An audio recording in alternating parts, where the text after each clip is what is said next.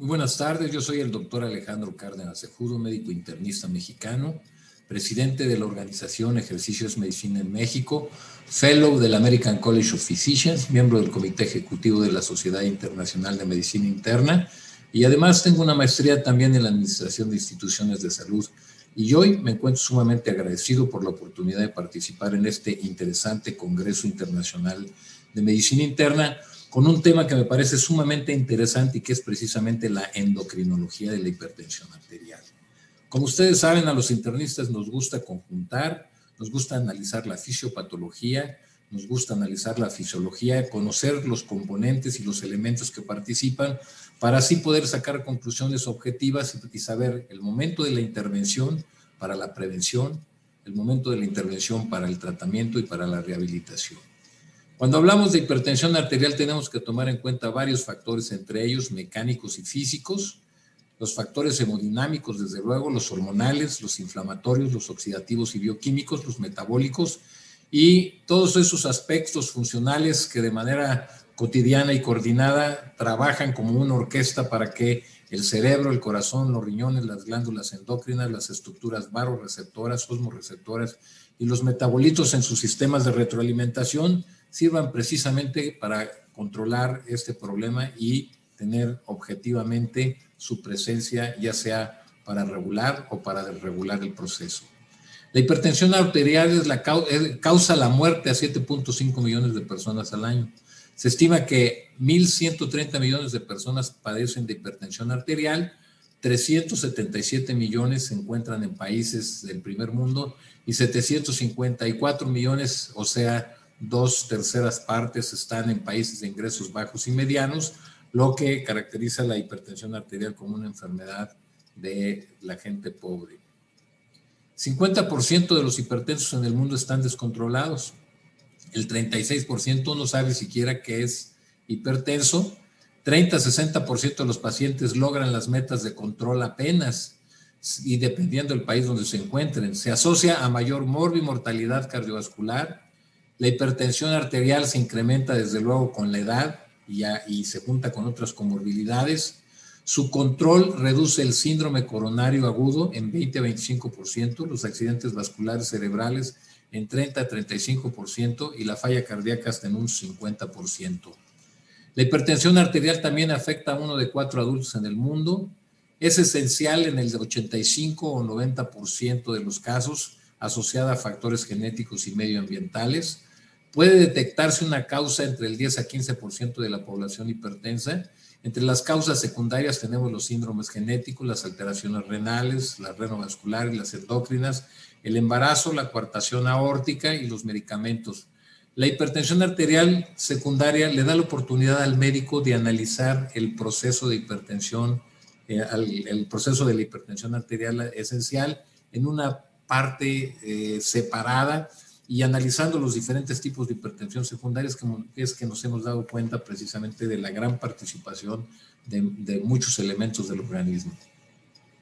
Condiciones endócrinas que participan en hipertensión arterial, tenemos exceso de catecolaminas, de mineralocorticoides, de glucocorticoides, la cromegalia, la obesidad, la hiperplasia adrenal congénita, la hipertensión inducida por estrógenos, la hipertensión inducida por el embarazo, las neoplasias secretoras de renina, el hipotiroidismo, el hipertiroidismo, el hiperparatiroidismo y desde luego el síndrome de Ledley. Durante muchos años consideramos al corazón un órgano mecánico, una bomba muy eficiente, capaz de durar 80, 90 años. Al paso de los años, después de 300 años, sabemos que es un órgano endocrino, productor de norepinefrina, péptido natriurético y angiotensina. La hipertensión arterial afecta entre 20 y 40% de la población adulta, 20 a 35% padecen de hipertensión arterial en Latinoamérica. La Organización Mundial de la Salud reporta hipertensión arterial como factor número uno de riesgo. Uno de, cada cuatro mexicanos padece de hipertensión arterial, con una prevalencia de 24.9% en hombres y mujeres 26.1%.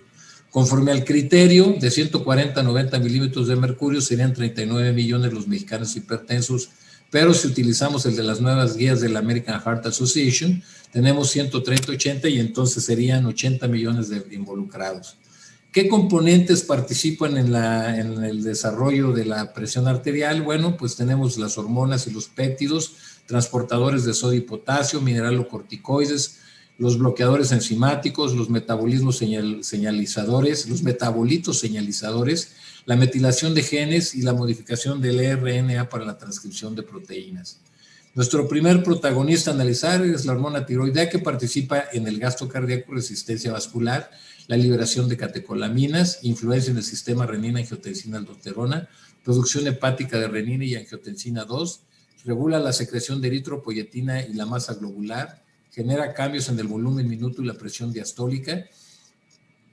participa en la expresión de factores de crecimiento y vasculares a nivel endotelial, influencia en la, actividad de la enzima convertasa de la angiotensina y la producción adrenal de aldosterona. En el caso del tejido adiposo y principalmente el tejido adiposo blanco, estamos hablando de una participación de proceso inflamatorio por ese estado proinflamatorio que tiene precisamente relacionado con el estrés oxidativo, la producción de especies reactivas de oxígeno, la disfunción endotelial secundaria, a expensas del óxido nítrico, de la endotelina y la generación de hipertensión arterial. Aquí con más detalle tenemos el estrés oxidativo, cómo estimula al sistema renina, angiotensina, aldosterona, a su vez produce especies reactivas de oxígeno que van a interferir con la proliferación a nivel de la, de la denudación de los endotelios, apoptosis, inflamación, cambios en la matriz celular de las células del endotelio y de las células de músculo liso y disfunción endotelial que va a redundar en hipertensión arterial. Aquí con un poco de más detalle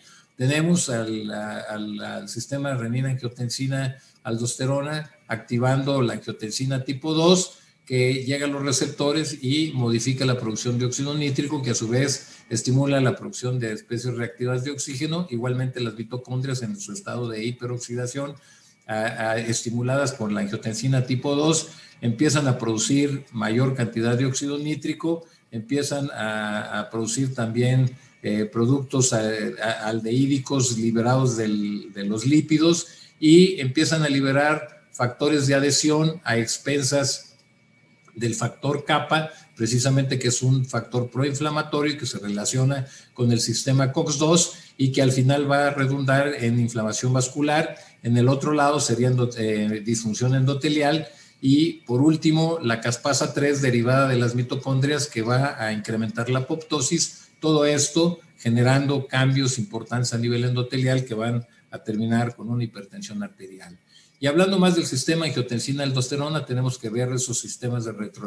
retroalimentación que son reguladores, como son la producción de potasio, la eliminación de potasio, las concentraciones de potasio, de sodio, y también precisamente algunas hormonas como la eh, adenocorticotrófica y también el péptido natriurético, la dopamina, y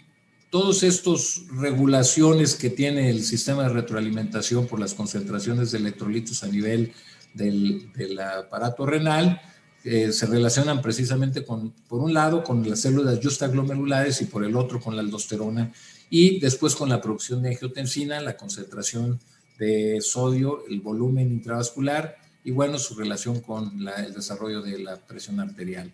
Y luego tenemos aquí el endotelio y su correlación con todos los eventos con los que se relaciona. Recordemos que el endotelio es un órgano endocrino, parácrino y autócrino, tiene relación prácticamente locales y a distancia con todo tipo de, elementos precisamente para regular la presión arterial y asociar a los contenidos una buena funcionalidad hemodinámica. Eh, interfiere en la migración leucocitaria, en el desarrollo de trombosis, la agregación paquetaria, la fibrinolisis, la remodelación vascular, en el metabolismo, en la inflamación, en la angiogénesis, en el tono vascular y desde luego en la permeabilidad que le dará las características precisamente para contener los, los elementos a nivel intravascular. El corazón, el cerebro, el endotelio cerebral y sus péptidos tienen efectos natriuréticos, diuréticos y antihipertensivos implicados en la regulación humoral de la presión arterial y la homeostasis del volumen circulante, ligándose a receptores endoteliales, epiteliales en las células vasculares y musculares lisas, que precisamente le permiten regular la presión arterial. Y desde luego, grandes participantes, tenemos los tres tipos de endorfinas que bloquean las lesiones de los vasos sanguíneos, pueden disminuir la presión arterial y además tienen efectos antioxidantes. En el caso de la beta-endorfina, que disminuye gradualmente la presión arterial sin afectar la frecuencia cardíaca y respiratoria, y por el contrario, las encefalinas que aumentan la presión arterial y la frecuencia cardíaca. Las catecolaminas que son tan importantes por su efecto al aumentar la frecuencia cardíaca y el gasto eh, cardíaco, aumentando por consecuencia la presión arterial. También reducen el flujo de sangre en la piel y en los intestinos y aumentan el flujo sanguíneo en el cerebro, el corazón y los riñones. Participan en respuesta al estrés, regulan el tono del músculo liso, vascular modificando la presión arterial, estimulan receptores alfa-1 produciendo vasoconstricción y reducción de la perfusión de los órganos y activan los receptores beta-2 que vasodilatan los lechos esplánicos y los músculos estriados. La hormona de crecimiento es y, el, factor eh, insulínico de crecimiento tipo 1 pertenecen a un modelo fisiológico que se relaciona en homeostasis de sodio, intercambiable y corporal total del agua extracelular y el volumen plasmático, en regulación de canales de sodio y la expansión del volumen a nivel renal y, además provocan aumento desde el punto de vista directo en la tasa de filtración glomerular y el flujo plasmático renal mediado por óxido nítrico y postraglandinas, lo que obliga o que ayuda o que implica que va a haber una, una colaboración en la regulación de la presión arterial. El cortisol, que tiene una participación elevando el gasto cardíaco y la resistencia periférica, elevando la presión arterial media y también la diastólica, incrementando la resistencia vascular en el riñón y aumentando el volumen plasmático. La paratormona que promueve síndrome metabólico, diabetes mellitus tipo 2, disfunción endotelial, calcificación vascular y remodelación ventricular, con obviamente desarrollo de aterosclerosis y que estimula la en forma directa la síntesis de aldosterona, en células de la zona glomerular, lo que necesariamente va a implicar una regulación del sodio y desde luego del volumen intravascular. En el caso de los estrógenos, estos inhiben la proliferación endotelial, modulan la presión arterial regulando el sustrato hepático de angiotensinógeno, regulan la producción de angiotensina 2 y disminuyen la hiperlipidemia, el síndrome metabólico, la aterosclerosis y en algunos casos también la hipertensión arterial. ¿Qué conclusiones podemos sacar de esto?